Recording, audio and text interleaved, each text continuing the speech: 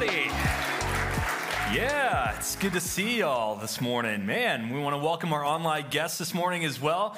And also, man, we got a lot of black shirts in this room. What's up, y'all? We had a. Uh, we had our student ministry rooted weekend this weekend, and man, it was such an incredible uh, experience to be a part of it one night and just seeing all of the students here. I mean, I just want you guys to give it up for Pastor Charles Bobo. He is an incredible, incredible youth pastor.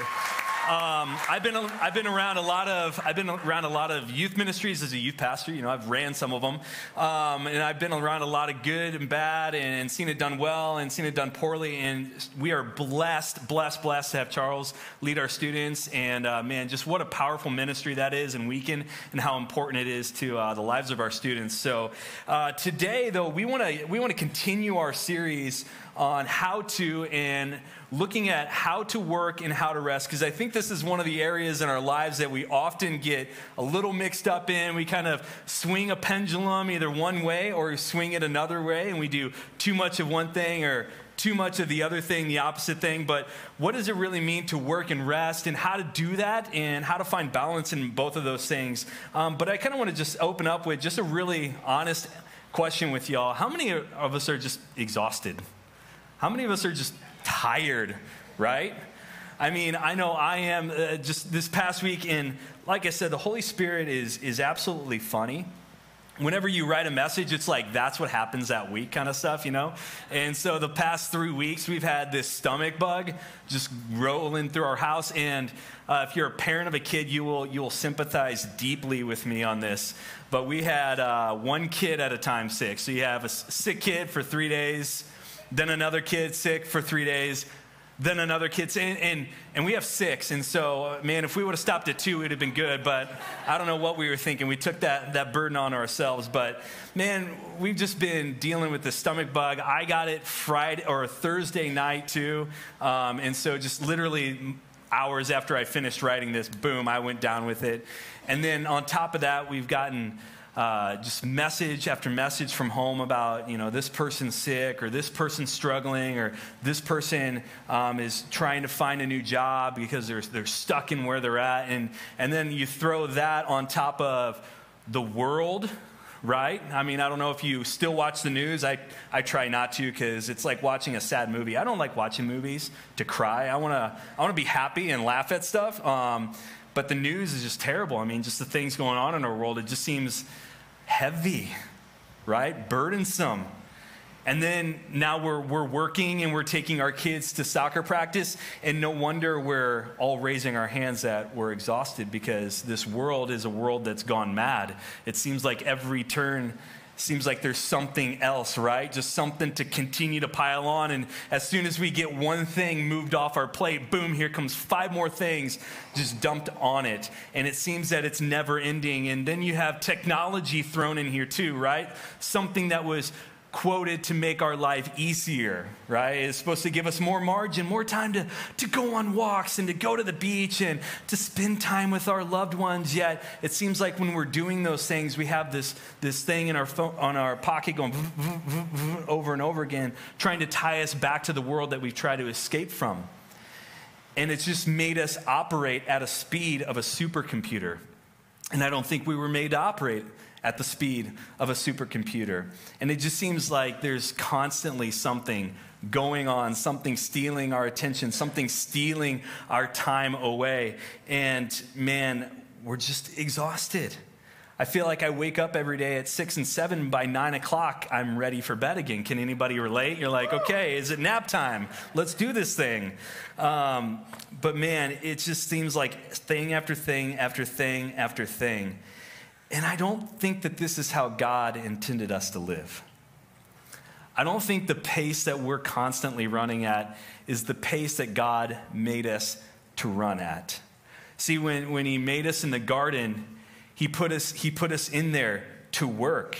He put us in there to take care of things, but He also put us in there to enjoy Him right? Adam and Eve would take these strolls through the garden with God in the cool of the evening, and they would enjoy his company, enjoy his presence. They would, they would find rest in God daily from that. And I think that that is how God intends us to operate too. It's not that when we look at this balance of work and rest, that work is just not important and that we shouldn't just work. God calls us to work, and we're going to take a look at that in a moment, but equally, God calls us to balance that out with rest. And a great picture of this balance between rest and work and how the right perspective of both of these things is important is in found in Luke chapter 10. So if you got your Bibles, let's go ahead and turn there and let's just dive right into it. Luke chapter 10, it's the story of, of Martha and Mary, and I'm sure a lot of us are familiar with this story, right? These are good friends of Jesus. So, this is a close family to Jesus. Their brother is Lazarus, the guy that Jesus wept over, the guy that Jesus rose from the dead. This is Mary who is at the tomb, right? These are people that are close to Jesus. And so Jesus approaches their home, and Mary or Martha invites Jesus in, and that's where we pick up in the story. Now, as they went on their way, Jesus entered a village, and a woman named Martha welcomed him into her house. She had a sister called Mary who sat at the Lord's feet and listened to his teaching. But Martha was distracted with much serving. And she went up to him and said, Lord, do you not care that my sister has left me to serve alone? Tell her then to help me. But the Lord answered Martha, Martha, Martha, you are anxious and troubled about many things, but one thing is necessary. Mary has chosen the good portion, which will not be taken away from her. And I love this story because it is just a really beautiful depiction of biblical work and rest and what it means to work in the right manner, what it means to not work in the right manner, what it means to rest in the wrong manner, and what it means to rest in the right manner, too. And often we, we live in a culture where we pit these things at odds with one another, right? Like work and rest are like these counterparts just butting heads all the time in our lives. And it's like they're stealing joy from each other. It's we're, we're so busy at work that when we get home and we want to just take a nap but man we feel guilty for it. Can anybody relate to that? Or we feel guilty for sitting down for five minutes for resting for taking a nap for just not thinking about something for five minutes right? We feel guilty for resting. But then also like our, our rest is stolen by just this constant thought of work. And, and if we don't rest, then all of a sudden we're, we're just exhausted at work and we can't perform at the level that we need to perform at. We can't think clearly the way that we need to think. And so these things are just at odds with one another. And really, the way that God designed us to operate and designed our lives to be is to be in this balance between work and rest. And He lays this out very clearly for us in the scriptures. And when we look at, at what it means to specifically work, we see Martha here. We see Martha who's been given this gift of hospitality. And so, what she's doing is honoring to Jesus. It's, it's, a, it's a good thing, right? She's welcoming people into her home. She's using the gifts that God has given her. And so she's caring for the people who've come into their house. She's preparing food, water, whatever it may be, making sure they're comfortable. Is your seat, are you comfortable enough? Can I get you anything? Can I kick up the lazy boy for you a little bit? Is it is the AC okay in here? I know it's I know it's kind of hot outside, but we can kick it down to 68 if you want, right? She's she's doing something that's really God honoring. But we see that that she the problem with Martha enters not because of the work that she's doing but because of the heart that she takes on while she's doing it. See, she goes from having a joyful heart of serving Jesus to seeing her sister sit at Jesus' feet just listening, apparently doing nothing, and her heart shifts from joy to bitterness, a, a heart of pride, even.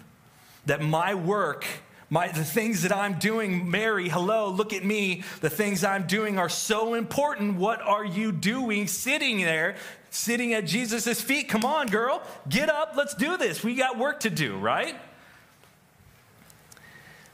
And see, work isn't the wrong action. And we know that we were created for work because it says so in the Bible. Genesis chapter 2, 15 says, The Lord God took man, put him in the garden to work it and to keep it. See, God did design us to work. He designed us to take care of things, right? He designed us to take care of the garden that He placed us in. But what happened for Martha is quickly her work became an idol.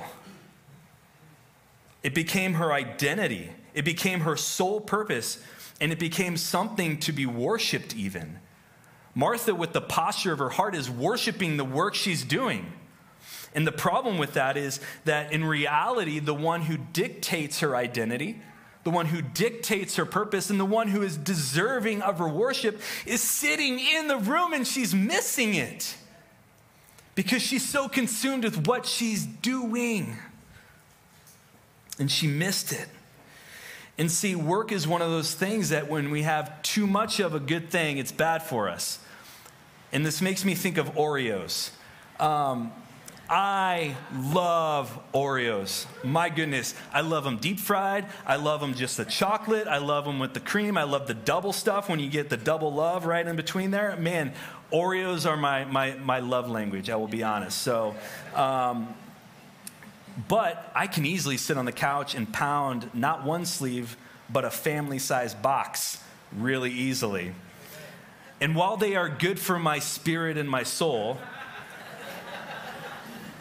they are expediting what a slowing metabolism is already beginning to do.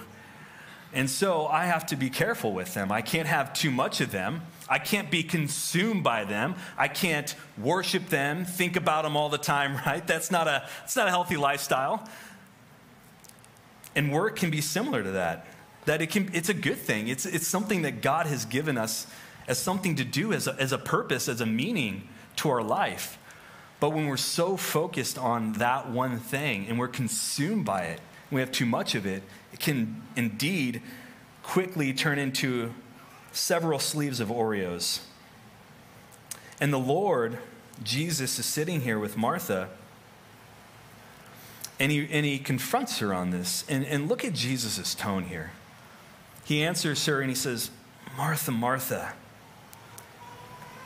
you're anxious and troubled about many things. This isn't Jesus saying, Hey, what are you doing? Duh, your sister's sitting here. You should be doing this too. What are you doing?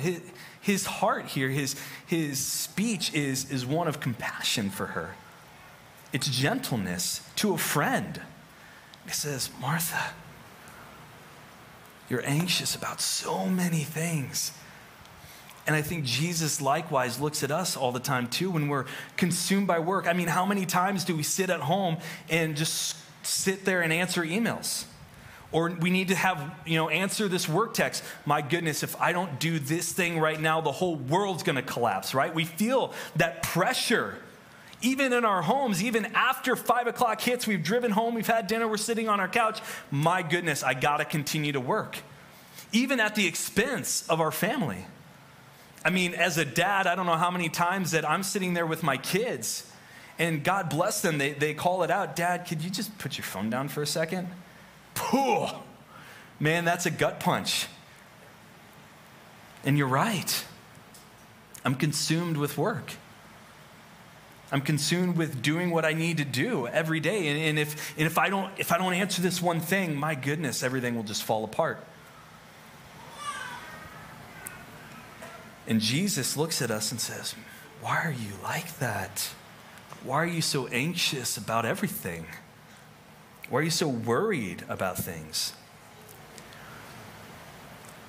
And the other thing that we see in the story that work did to Martha, not only did it make, make her anxious and consumed by it, but it also turned her heart into one of jealousy and, and bitterness. And we see in Philippians chapter 2, 14 through 15, it says, Do all things without grumbling or disputing that you may be blameless and innocent children of God without blemish in the midst of a crooked and twisted generation, among whom you shine as lights in the world. See, work when it consumes us can easily give us a, a heart of bitterness, of pride. It's easy to go to work and, and complain and grumble. Why? Well, number one, because we're exhausted, because we've been up all night thinking about it.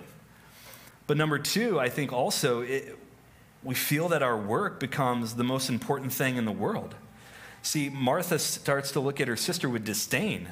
She starts to be frustrated with Mary because she believes what she is doing, Martha that is, what Martha is doing, is vastly more important than what Mary is doing.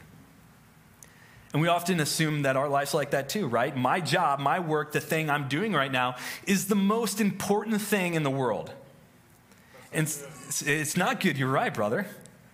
And we and we we start to look at people differently because of it, right? We look at our coworkers, we look at our boss, we look at our employees, we look at our family, we look at other people in the church, right? You're not doing enough. You're not doing the right thing. My thing's the most important thing in the world, and therefore you're not living up to the standard that I feel like you should live up to.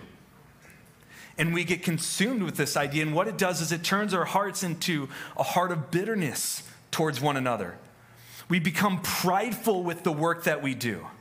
We become consumed with this work. And the reason that God has given us spiritual gifts is to use them to glorify Him, not us. See, we're not, we're not called to use our gifts in order to make ourselves look better, feel better. It's to work in service towards one another.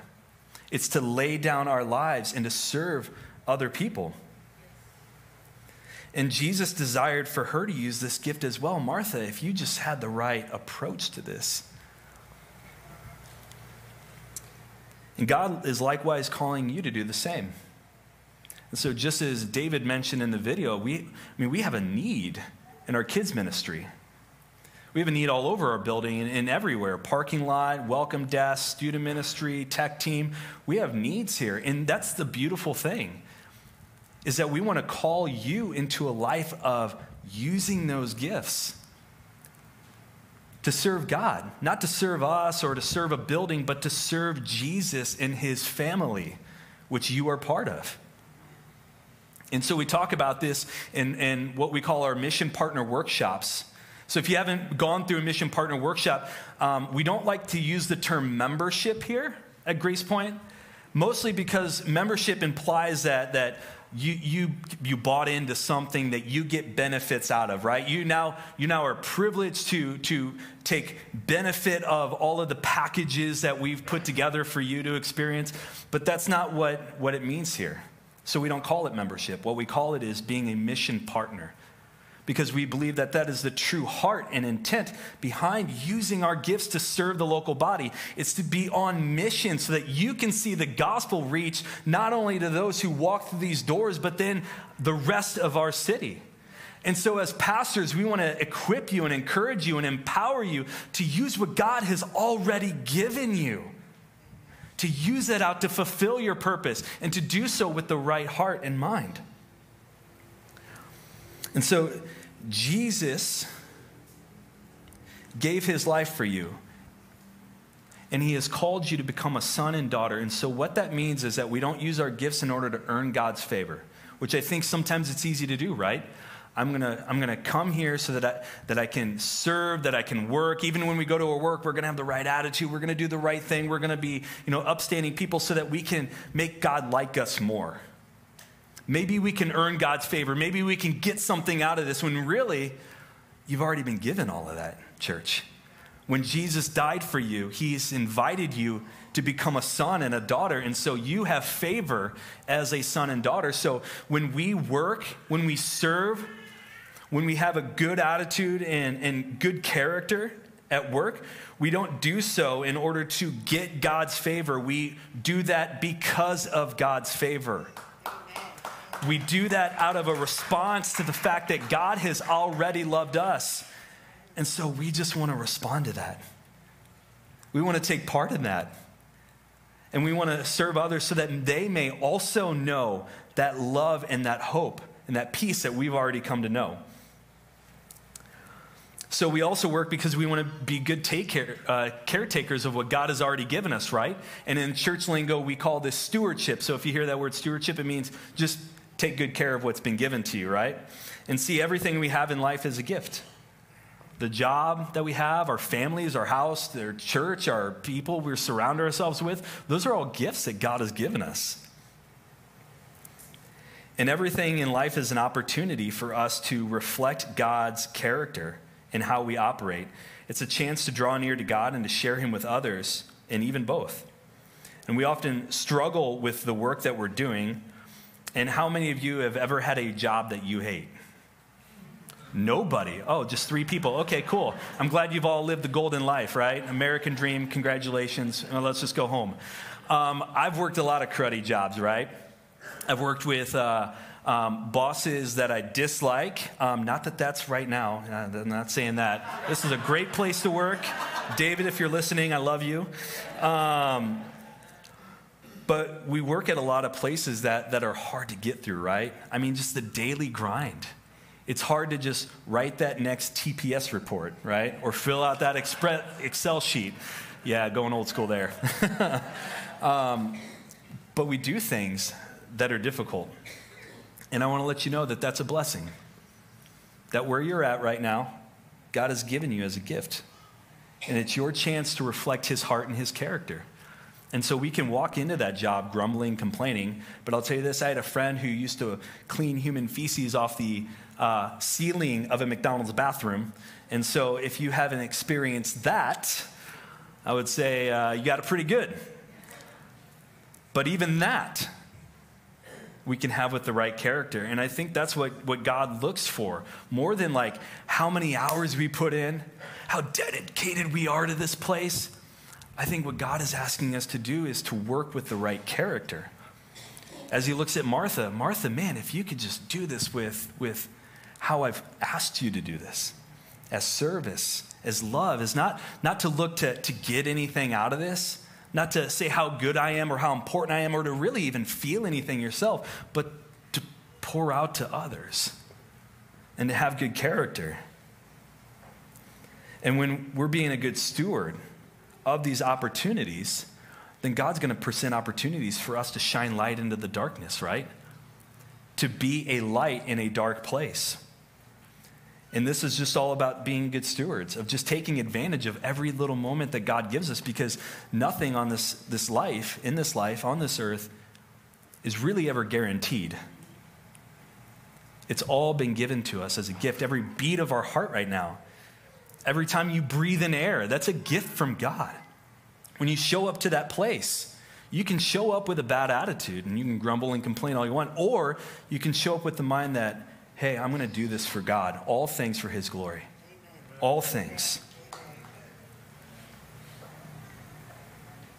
It's kind of like working out, right? So I bought a gym membership a few weeks ago. I haven't used it. Um, yeah. I did go one year where I did buy a club fitness membership for two years, and I did literally go one time. And I realized quickly this isn't for me, but I guess I still got to pay for it. Um, but I bought a gym membership, and I'm planning on going with Dwayne because if you've seen Dwayne, you know why. Um, I tried to arm wrestle him at the Super Bowl party, and it did not go well. Um, so that was eye opening. But the reason I want to go to the gym isn't, isn't to look fit or to, to do anything, but it's because I got kids. I get young kids, man. And if I'm pounding sleeves of Oreos every day of my life, I need to have a counterbalance, right? I'm, i want to be a good steward of my body and what God has given me so that I can, therefore, be a good steward of all the other moments that He's given me in my life.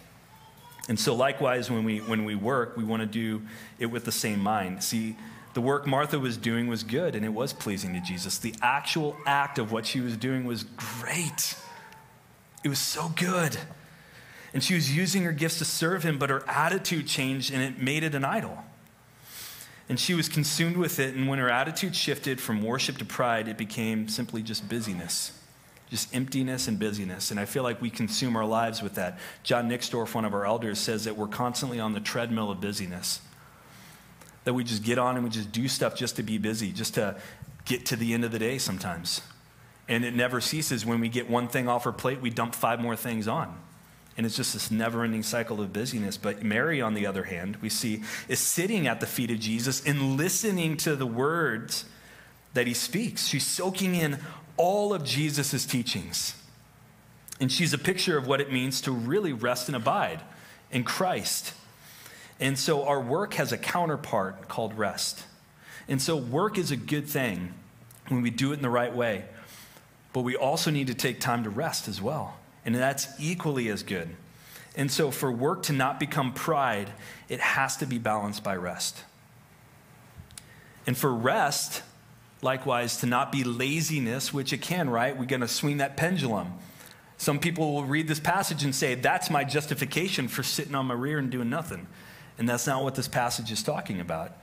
We can't just swing the pendulum back to the other way, but there's a balance here because rest without work is just simply laziness. And God calls us to work, He also calls us to rest.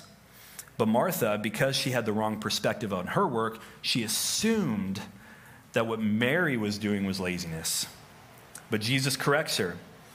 And Mary isn't being lazy, instead, she's resting at the feet of Jesus. And when work becomes an idol, we get burnt out. And I don't know about you, but I've, I've, I've felt burnt out a lot of times in my life when I've, when I've made my work my one priority, my top priority. I've become burnt out. And the antidote to this exhaustion is rest, and rest is a gift from God, guys. God Himself rested after He created everything to model this rest for us. Not because God needed it, God is infinite in everything, every attribute. And He doesn't need rest, but He did so in order to model this for you and for me. It says in Genesis 2, it says, On the seventh day, God had finished His work of creation, so He rested from all His work. And God blessed the seventh day and declared it holy because it was the day that He rested from all of His work of creation. So God made us to work, but He also made us to rest, to model this idea of rest. And this idea of rest, guys, is so serious to God that God doesn't suggest that we do this, God commands that we do this. In Exodus 20, it says, Remember the Sabbath day, keeping it holy. Six days you shall labor and do all your work, but the seventh day is a Sabbath day to the Lord your God. On it you shall not do any work, neither you, nor your son, nor your daughter, nor your male or female servant, nor your animals, nor any foreigner residing in your towns. It's all encompassing, it's everything. For in six days the Lord made the heavens and the earth and the sea and all that is in them, but he rested on the seventh day. Therefore, the Lord blessed the Sabbath day and made it holy. See, God takes rest, guys, very, very seriously. And it's kind of like this, right? If you've had young kids, you, are gonna, you're gonna know what I'm talking about. It's like forcing your kid to nap, right? So they're all up in their craziness all day long, and you need to go take like a couple hours of rest, not just for you, but also for me, man. I need a break from you too. I need you to go take a nap so that I can just chill out and mentally tune out for a few minutes, right? But we need them to rest because we know by five, six o'clock at night, boom, they're gonna crash. And they're gonna get super cranky, and they're gonna start getting super angry, and then all of a sudden it's way worse, right? And so, having six of them, I can tell you that this is a terrible situation to be in the missing of the nap. But likewise, we live our lives like we do, like our kids live theirs. We're so busy. We're so worried about doing all of the stuff that we, we don't have time for a nap. We, I just can't do that. I don't have time for that. I don't have time to rest. I don't have time to take a break. Are you kidding me? I got so much to do. And then by five o'clock, man, we're cranky and we have no idea why. We're like, I don't, I don't get this. Why can't I just feel restful? And what happens is we, we kind of look at God's model and we says, God, that's good for you. You know what? Glad that you rested.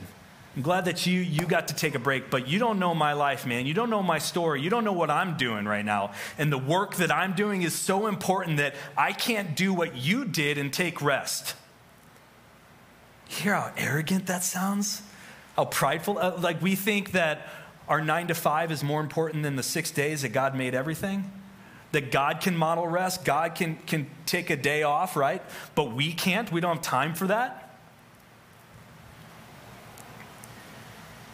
We become arrogant and prideful when we think that our work is more important than what the Lord does. And even if we don't think that at the time, that's what we reflect. That's what we're communicating with how we live our lives. And God, I want you to know this God has given us rest. He modeled rest not because He needed it, he modeled rest because he made us to rest. And he wanted to show us by example of how to do that. God created you for rest. And the enemy, I know right now, what he likes to do is when we even try to rest, right? We're exhausted from trying to rest because the enemy comes in and is like, What are you doing? You don't have time to sit on your butt. You don't have time to take a nap. You don't have time to take a day off. You need to get up. You need to keep going. You need to you know, go back to work. You need to answer that email. You need to answer that text. You need to get up. The kids need something. You need to do this. Constant, constant, constant. Why? Because the enemy knows that an exhausted Christian is an ineffective Christian. And he wants you to be ineffective. He can't steal your salvation. So what he can do is he can steal everything that that surrounds. And he wants to. And so he's going to guilt you. He's going to condemn you. He's going to try to make you think that you're terrible for doing that, when in fact it's the opposite of what God says. So, who are we going to believe? Are we going to believe the enemy or are we going to believe God, church? We need to believe the voice of God who says, Rest, take a moment, take a day. It's required. And so, I don't want to get into all the do's and don'ts of what a day off looks like, right? so, we're not going to get into that. But what I will say about rest is we're often confused even by what this is, and we do it in the wrong way. Rest isn't simply sitting on the couch and getting angry at a football game on a Sunday. It is not restful for me, I will tell you that. Rest isn't simply just taking a nap for 20 minutes. Rest simply isn't doing your hobby for a day or going for a hike or you know whatever that looks like for you right? Those are all good things. Those are all great things. Those can all be restful things too. But i think what true biblical rest is what's modeled here by what mary's doing. Sitting at the feet of jesus. Soaking in every word that he says but we look at all these other things like, man, I got rest. I, I, sat in front of the TV. How many of us really sit in front of the TV for several hours and feel good? Like, I usually feel like garbage after that. Like, it's not, it doesn't feel restful. But we look at these things, and it's kind of, it's kind of like this. So I've at least lived here for one summer in San Antonio, and it is hot. Um, I haven't experienced the fullness of the heat, I've been told, um, but I'm, lo- I'm, not looking forward to that, no. Um, but imagine a typical July in San Antonio. It's what, 130 degrees, lots of humidity, right? And picture yourself out in the yard all day, mowing the grass or painting a fence. Um, I don't even know why I use painting the fence. It's like Huckleberry fence. Do people still paint fences now? I don't even know. I think they come pre painted. I don't know. Um, but imagine you're outside just working all day in the heat, doing whatever you're going to do, right? And, and you see a kiddie pool full of some lukewarm water, and you jump in it, and you splash around for a little while, and you're like, ah, oh, that feels good. That feels great. Yeah. And that's that's like our, our rest. That's like our naps and our hobbies and sit in front of the tv all day. It's it's kind of relief. But man sitting at the feet of god is like jumping into an ocean. It's truly taking relief from the heat and the exhaustion and church man sometimes we're so content with kiddie pools when we really have the opportunity to jump in an ocean at any point in time.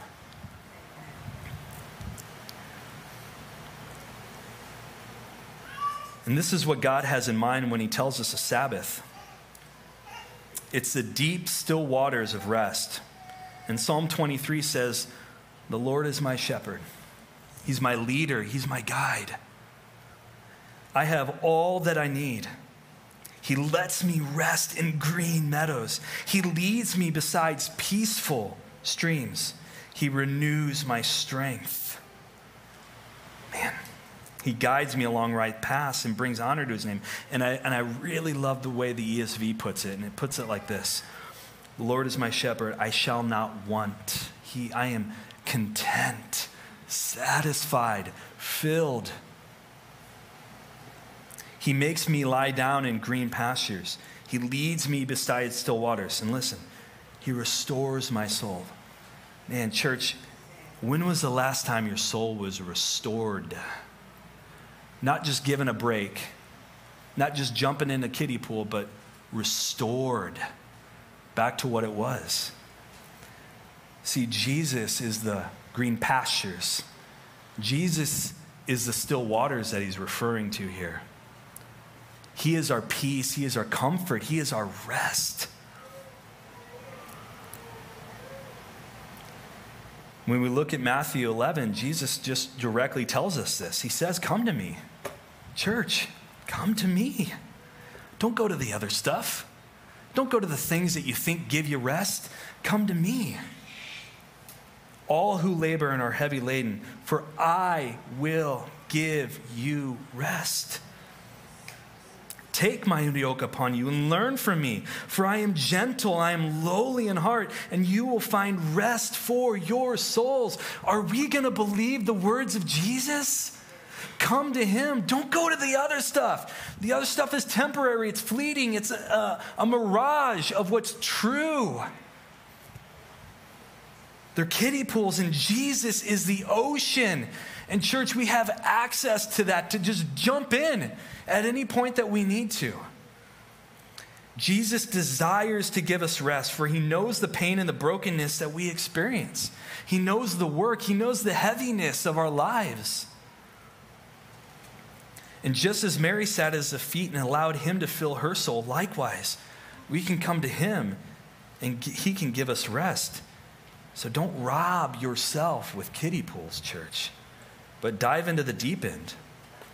And there's a practice in the Hebrew culture around Sabbath, around what it means to rest. And see, they recognized how, how vital this practice was for their lives. And so, what they did is um, they built this into their calendar, and they just didn't rest every seven days, but they rested every seven years. They would have a seven year Sabbath. And so, on the Sabbath year, the land would rest, they would let, let the land rest, so they'd store up up until then and they'd let the land rest. They would forgive debts. And so they would ease the pain of life. But then the beautiful thing is they took it now another step further because they realized, man, this is good stuff. We can rest once a week, we can rest for a whole year, once every seven years. Let's do this again. Let's take it up a notch. Let's have what's called a Jubilee year. So, seven times seven, so every 49, 50 years, they would have a Jubilee year. And what this means is if you were a slave, you were free. You were given freedom. If you had land taken away from you, it was given back to you. Everything was restored, everything was redeemed, everything was rested and put back to what it should be. And they called this the year of Jubilee.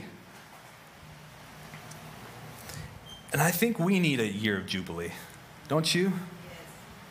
I feel like we're, we're at a point in time that we've been through so much stuff, right?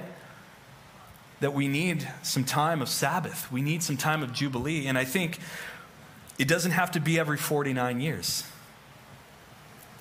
I think because we have Jesus, we can have that daily.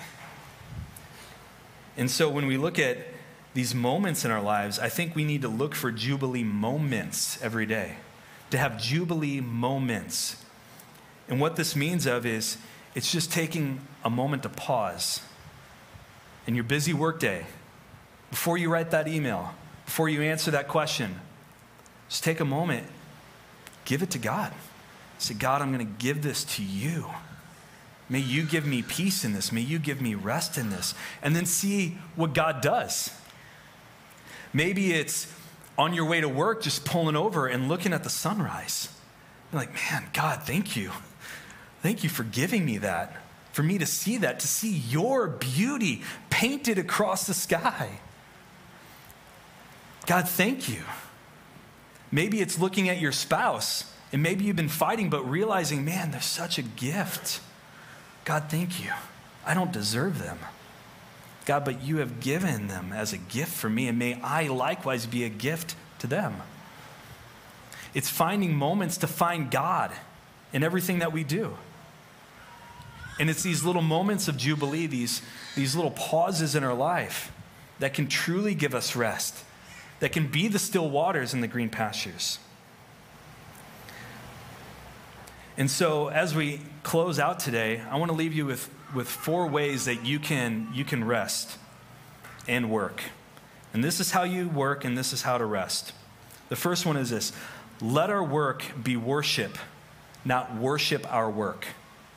And it's easy to do that. It's easy to worship our work, to worship our job, to worship how we serve the local body. It's easy to worship it, but instead, let our work be worship to God.